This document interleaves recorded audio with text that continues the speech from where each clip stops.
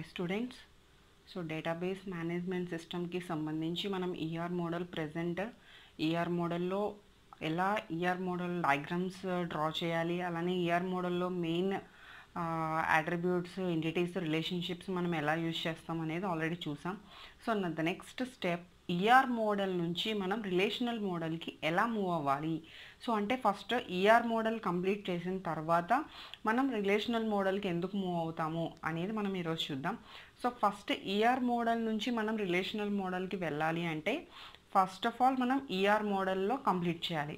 So ER model complete చేసేటప్పుడు మనం first ER మోడల్కి ఎందుకు స్టార్ట్ చేస్తాం? అంటే ఫస్ట్ మనకి ఏదైనా ఒక ప్రాజెక్ట్ ఇచ్చినప్పుడు ఆర్ మనం ఏదైనా ఒక కాన్సెప్ట్కి మనం డేటాబేస్ డిజైన్ చేసేటప్పుడు మనం దానికి సంబంధించి ఆల్ ఆబ్జెక్ట్స్ సో ఆబ్జెక్ట్స్ ఏవైతే ఉన్నాయో వాటిని మనం మనం నీట్గా ఒక డయాగ్రామెటికల్ రిప్రజెంటేషన్లో ఈజీగా అండర్స్టాండ్ చేసుకోవడం కోసం ఈఆర్ మోడల్ని చూస్ చేసుకుంటాం. సో ఎందుకు అంటే మనం డిఫరెంట్ డేటా మోడల్స్ చూసాం. బట్ ఏ డేటా మోడల్కైనా మనకి బిఫోర్ బేస్గా ఈఆర్ మోడల్ని చూస్ చేసుకుంటున్నాం. Because this is pictorial representation so pictorial representation మనకి ఈజీగా అండర్స్టాండ్ అవుతుంది కాబట్టి మనం ఈఆర్ మోడల్లో ఫస్ట్ ఆఫ్ ఆల్ మన కాన్సెప్ట్ మొత్తాన్ని ఒక డిజైన్ ఫామ్లో చేసుకున్న తర్వాత దాని నుంచి మనం నెక్స్ట్ మనం ఏ మోడల్ అయితే చూస్ చేసుకుంటామో డేటా మోడల్గా ఆ మోడల్లోకి మనం కన్వర్షన్ అనేది చేసుకుంటాం.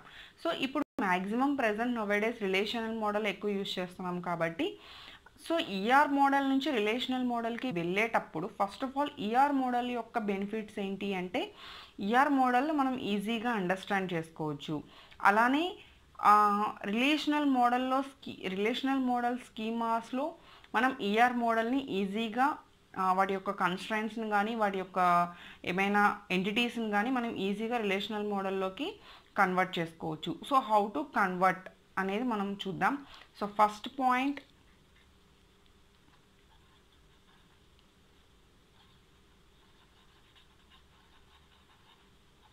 are very easy to understand.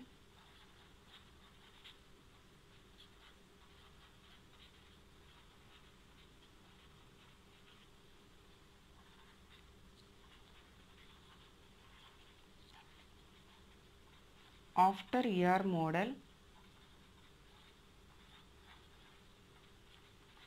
we are moving to relational model. So మనం ఏ మోడల్కైనా సరే ఆఫ్టర్ ఈఆర్ ఈఆర్ మోడల్ మనం మూవ్ అవుతూ ఉంటాం. సో ఇది పాసిబుల్లా కాదా అంటే ఎస్ ఇది పాసిబుల్. ఇది మనం ఏం చేస్తున్నాము అంటే రిలేషనల్ స్కీమాలోకి బేస్డ్ ఆన్ ఈఆర్ డయాగ్రామ్స్ని బేస్ చేసుకుని మనం మూవ్ అవుతున్నాం. So that is it is possible.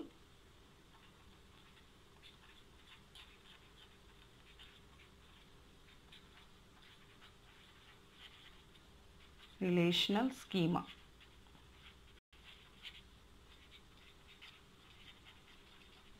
Based on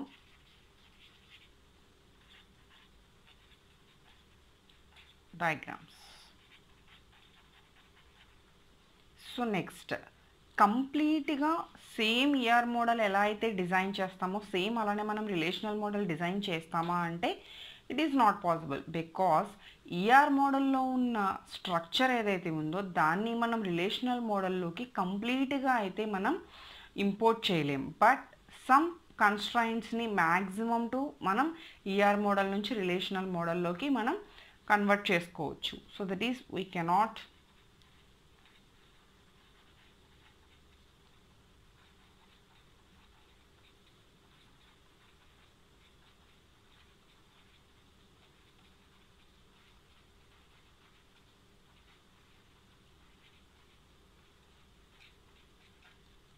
into relational model.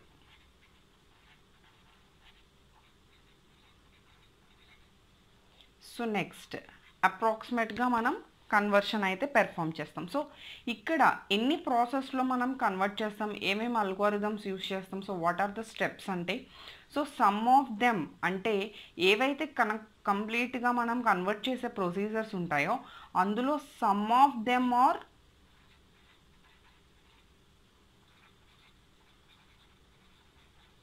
మనం మాన్యువల్గా చేయాల్సి ఉంటుంది. అలానే కొన్ని ఆటోమేటిక్గా మనం డయాగ్రామెటికల్గా చేసుకుంటూ వెళ్తాం. అవి ఆటోమేటిక్ కొన్ని అలానే కొన్ని అల్గారిథమ్స్ వచ్చి మనం మాన్యువల్గా పెర్ఫామ్ చేయాల్సి ఉంటుంది. సో ఇలా మనం టూ టైప్స్లో ఏదైతే ఉంటుందో ఆ two types of algorithms base చేసుకుని మనం ఈఆర్ మోడల్ నుంచి రిలేషనల్ మోడల్కి కన్వర్ట్ చేసుకుంటాం. సో ఫస్ట్ ఆఫ్ ఆల్ ఏదైనా ఒక ఎగ్జాంపుల్ తీసుకుంటే ఫర్ ఎగ్జాంపుల్ ఒక బ్యాంకింగ్ సెక్టార్ తీసుకున్నాం అనుకోండి బ్యాంకింగ్ సెక్టార్కి ఒక కొత్తగా నేను డేటాబేస్ డిజైన్ చేయాలని మనకు ఒక ప్రాజెక్ట్ వచ్చింది అనుకుందాం. సో ఆ బ్యాంకింగ్ సెక్టార్లో ఏవైతే మనం తీసుకునే ఆప్షన్స్ ఉన్నాయో ఆబ్జెక్ట్స్ ఉన్నాయో అంటే ఆప్షన్స్ ఏవైతే మనం స్క్రీన్ మీద మనం ప్రాజెక్ట్లో చూపిద్దాం అనుకుంటున్నామో దానికి సంబంధించిన టాస్క్స్ రిలేషన్షిప్స్ అలానే ఎంటిటీస్ టోటల్ అన్నీ కూడా ఫస్ట్ ఆఫ్ ఆల్ మనం డయాగ్రామాటికల్ రిప్రజెంటేషన్లో కనెక్షన్ ఇస్తాం అంటే ఫర్ ఎగ్జాంపుల్ స్టూడెంట్ మన కాలేజ్ ఈజీగా అండర్స్టాండ్ చేసుకోవడం కోసం మనం ఒక కాలేజ్ డేటాబేస్ తీసుకుంటే I want to create a college database so ఇక్కడ స్టూడెంట్ డీటెయిల్స్ ఉంటాయి అలానే మనకి కోర్స్ డీటెయిల్స్ ఉంటాయి. సో స్టూడెంట్ అనేవాడు కోర్స్లోకి ఎన్రోల్ అవ్వాలి.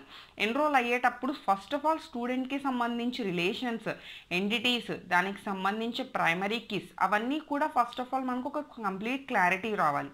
అంటే ఫస్ట్ ఆఫ్ ఆల్ దానికి ఇయర్ డయాగ్రామ్ మనం డ్రా చేసుకోవాలి.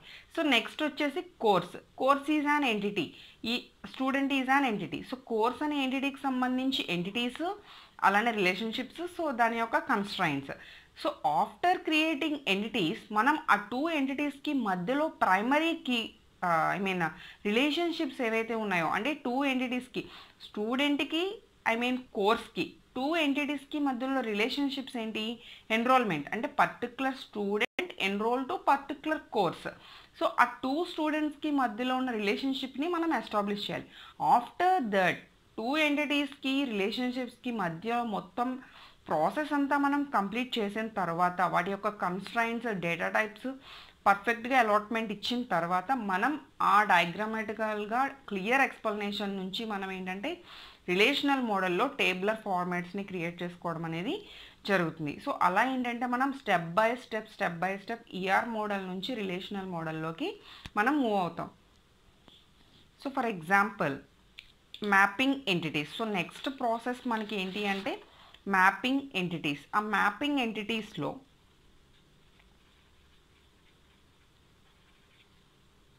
వాట్ ఈజ్ మ్యాపింగ్ సో మనకి నార్మల్గా మనకి టూ సెట్స్ ఉంటే ఏ సెట్ నుంచి బి సెట్కి మ్యాపింగ్స్ జరుగుతాయి. సో అలానే ఎంటిటీస్కి ఎంటిటీస్కి మధ్యలో మ్యాపింగ్స్ ఎలా ఉంటాయి అంటే an entity is a real world object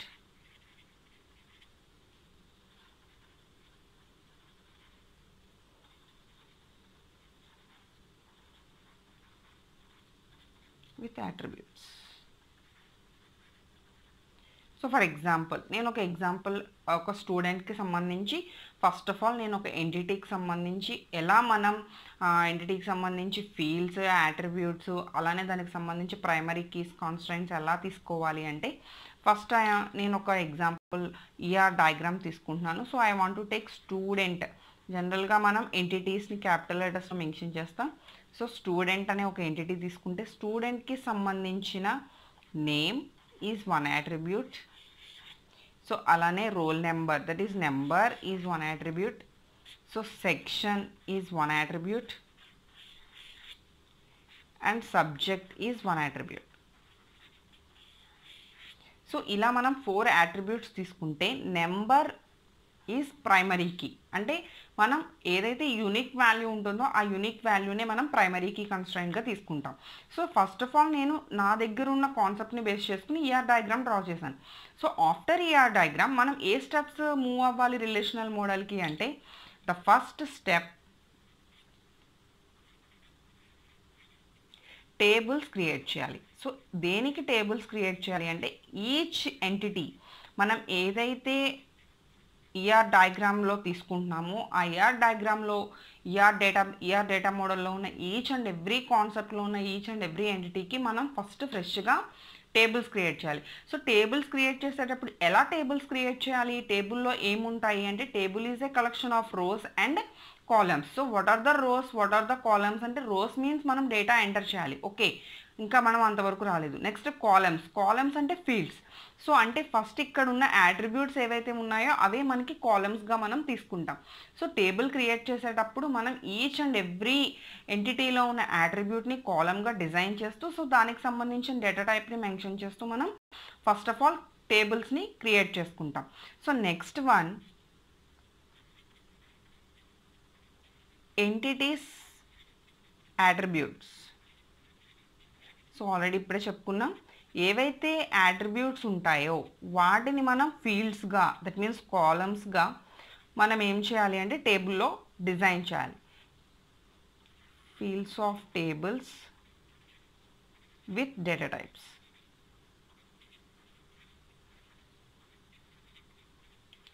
okay so because ఇక్కడ number is a integer type of data type name అనేది character that is string type of data type section అనేది కూడా maybe string data type string data type that is subject అనేది కూడా maybe string data type so ఇక్కడ each and every యాట్రిబ్యూట్కి కూడా మనం ఒక పర్టికులర్ డేటా టైప్ బేస్ చేసుకుంటాం కాబట్టి టేబుల్ క్రియేషన్లో కూడా అది వెరీ వెరీ ఇంపార్టెంట్ థింగ్ కాబట్టి మనం డేటా టైప్కి ప్రయారిటీ అనేది ఇస్తాం.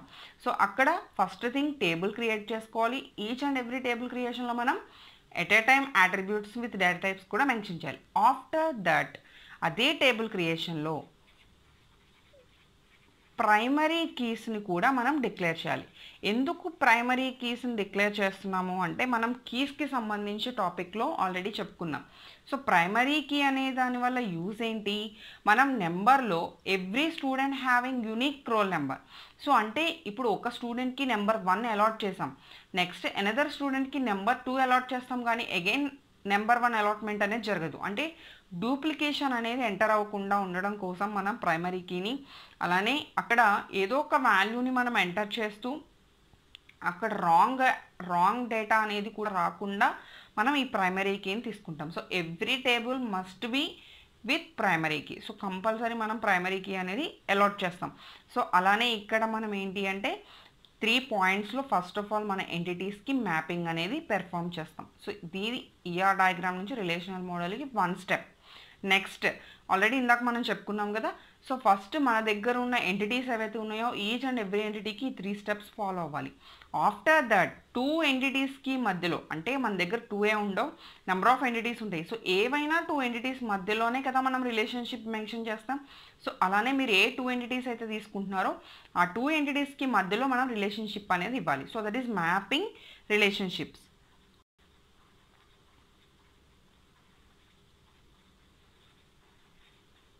mapping relationship so mapping రిలేషన్షిప్లో నెక్స్ట్ రిలేషన్షిప్ని ఎలా ఎస్టాబ్లిష్ చేయాలి? టూ ఎంటిటీస్ ఉన్నాయి. ఫర్ ఎగ్జాంపుల్ నేను ఇప్పుడే చెప్పిన ఎగ్జాంపుల్ని బేస్ చేసుకుని స్టూడెంట్ అని ఒక ఎంటిటీ ఉంది. నెక్స్ట్ కోర్స్ అనే ఒక ఎంటిటీ ఉంది. సో టూ ఎంటిటీస్ ఉన్నాయి. సో ఫస్ట్ ఆఫ్ ఆల్ ఎంటిటీస్ని కంప్లీట్ చేయాలి. అంటే స్టూడెంట్కి సంబంధించి ఎంట్రీ ఎంటిటీస్కి సంబంధించి attributes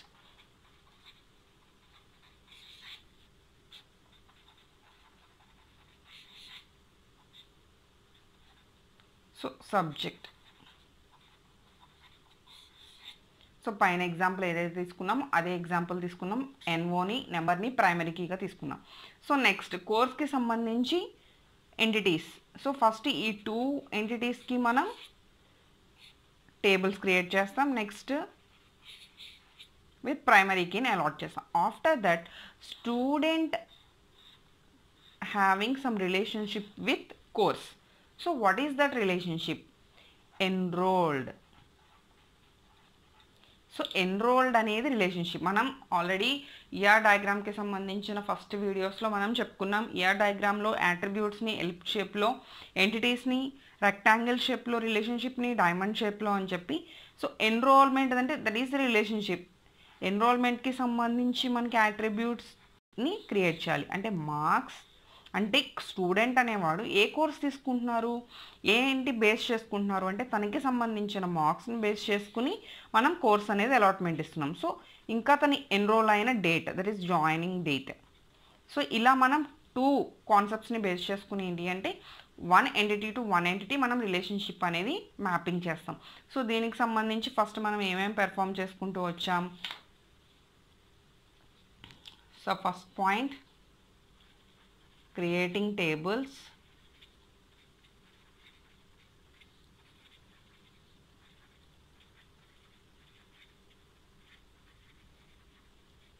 next second one primary కీస్ని add చేయటం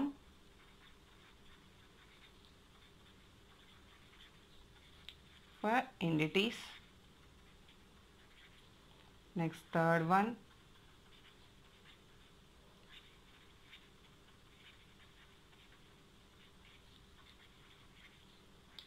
ఒకవేళ అట్రిబ్యూట్స్ ఉండొచ్చు అట్రిబ్యూట్స్ అంటే సింపుల్ డేటాబేస్ అయితే మనకి అట్రిబ్యూట్స్ లేకపోవచ్చు.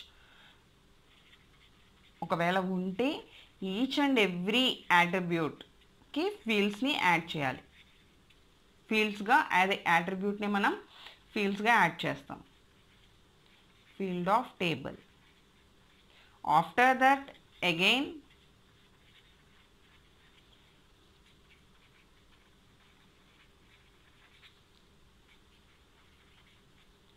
next each and every ఎంటిటీస్కి సంబంధించి పార్టిసిపేటింగ్స్ సో మనం పార్టిసిపేషన్కి సంబంధించి ఆల్రెడీ ప్రీవియస్ వీడియోలో చెప్పాం. ఒకసారి చెక్ చేసుకోండి.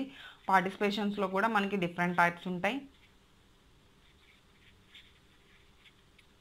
Participating entities so after that మనకి కీస్లో డిఫరెంట్ డిఫరెంట్ కీస్ ఉన్నాయి. ఫా ప్రైమరీ కీస్ ఫారెన్ కీస్ ఫైనల్గా మనం ఇక్కడ టూ ఎంటిటీస్ గురించి మాట్లాడుకుంటున్నాం కాబట్టి ప్రైమరీ కీస్ ఉండొచ్చు ఫారెన్ కీస్ ఉండొచ్చు. So declare all foreign key with constraint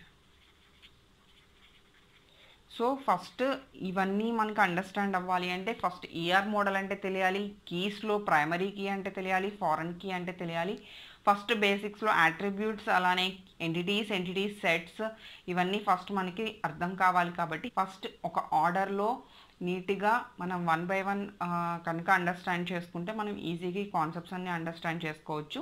So this is all about మనం ఈఆర్ మోడల్ నుంచి రిలేషనల్ మోడల్లో కన్వర్ట్ అవ్వాలి అంటే మనం డిఫరెంట్ డిఫరెంట్ స్టెప్స్ చూసాము. సో అందులో మ్యాపింగ్ ఎంటిటీస్ మ్యాపింగ్ రిలేషన్షిప్స్ అనేవి కంప్లీట్ చేసుకుందాం నెక్స్ట్ అలానే మ్యాపింగ్ విత్ వీక్ ఎంటిటీస్ ఎంటిటీస్లో కూడా మనకి డిఫరెంట్ టైప్స్ ఉన్నాయి.